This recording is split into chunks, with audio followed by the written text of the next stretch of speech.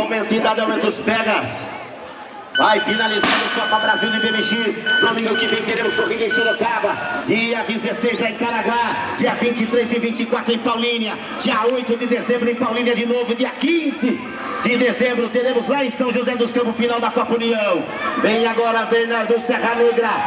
O sobrinho do Renato Silva. O melhor filho de Daniel Silva, presidente da Federação Mineira de BMX.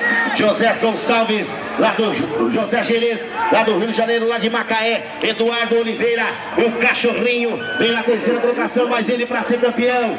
Tranquilo.